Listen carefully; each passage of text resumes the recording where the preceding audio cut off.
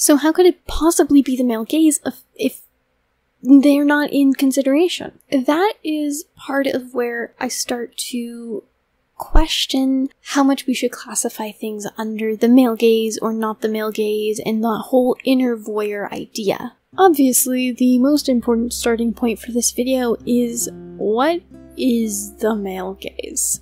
Basically, it's framing women as sexual objects before all else. It is extremely common in film and other more mainstream media, and it is based off of the reoccurring and oftenness, the um, frequency of this trope that the name was coined and the discussion has been started. How does YouTube fit into this? It's a very interesting crossroad because women, as well as literally the women being portrayed, are in complete control, in most cases, of how they are being filmed and how they are being portrayed. So, obvious instance, I choose what I wear, my camera angles, my script, the editing, the thumbnail. I choose literally every aspect of what you see in this video. So that definitely leaves a lot of room to ignore the male gaze. If I don't care to partake in that image of myself, then in theory, I don't have to. I can not follow the male gaze because I have control. However, it is definitely inspired by mainstream media and in turn the prevalence of the male gaze. Something that comes to mind is that poem about everything being a male fantasy. This is another aspect of the theory around the male gaze. This poem plays into the idea that every woman, even completely on her own, still acts as her own voyeur. Inside of her is still that idea of the male gaze and that person wanting to sexualize her and put her in that sexual light. And it is definitely in your best interest to play into the male gaze when you are framing your videos. There is definitely pretty privilege on YouTube. The nicer that I look, the more likely you are to want to click on that video, as well as to want to stay on that video. I do things in order to make myself look good, and what I consider good does largely take inspiration from the male gaze, as that is the image that I've been told is beautiful. So I ensure that I have good lighting that brings out my skin tone, that so I'm not washed out. I wear makeup that accentuates my features, and I wear bronzer to make my face look a little bit slimmer. I wear clothing that I consider looking nice. It's not overly baggy, and I like that. And I definitely dress feminine. Oftentimes, YouTubers will try to, like I said earlier, emulate the mainstream, which means emulating a form that very much so plays into the male gaze.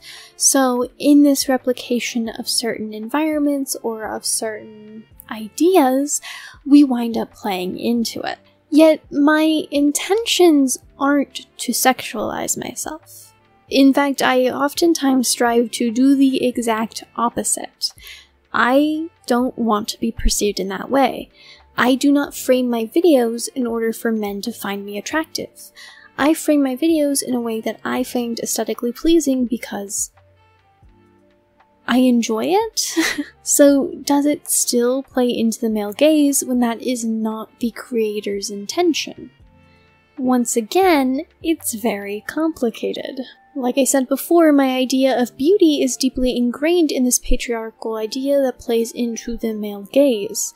Maybe in an ideal world where this wasn't true, my idea of beauty would be different, and therefore I wouldn't be portraying myself in this way.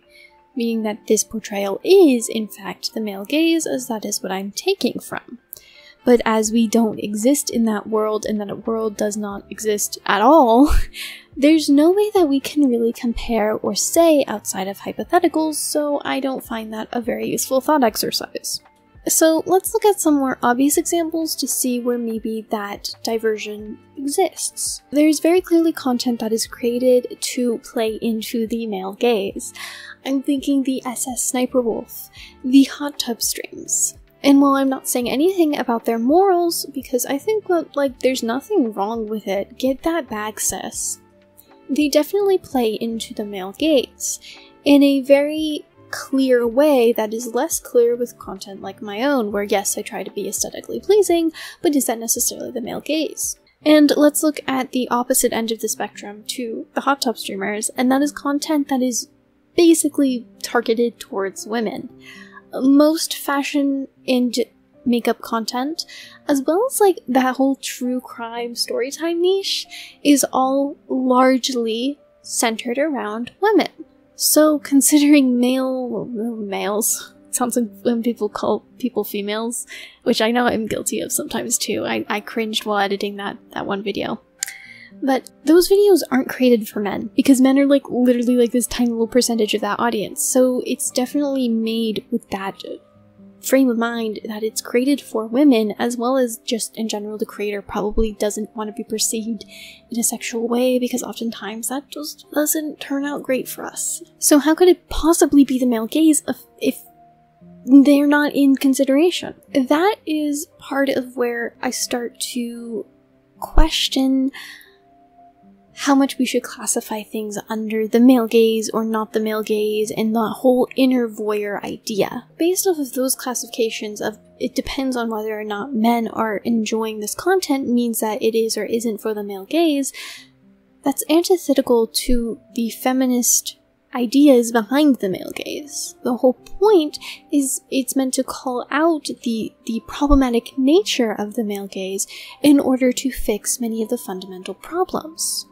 So then basing whether or not something is on the male gaze and if it's feminist enough based off of whether or not men like it rather than women or women's intentions when creating this content is antithetical to the whole reason the male gaze concept was made in the first place. So, we're wrapping around again to something that I stated in the very beginning of this video. It has to do with the creator's intentions whatever it is that the creator wishes to capture, and for whatever reason, is what it is. It is what it is. It is what it is. If they are trying to play into the male gaze, then yes, it is in capturing the male gaze. If they are not trying to encapture the male gaze, then they aren't trying to play into the male gaze. An analysis that people have made about Harley Quinn in Suicide Squad versus in Birds of Prey is the clear difference when she was made for the male gaze versus when she was made for the quote unquote female gaze. In the under the male gaze, she is clearly posed and dressed in such a way that she can be perceived for male fantasies.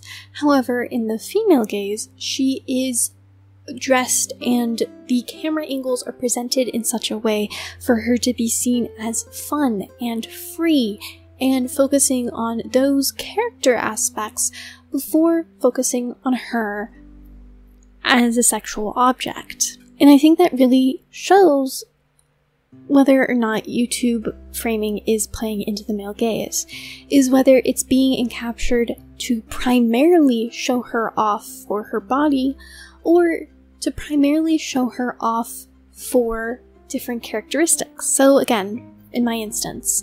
My primary purpose with these videos and with my framing is to get, portray an idea, is the content of my words and the ideas that I'm trying to impart on you. Secondarily is keeping your attention.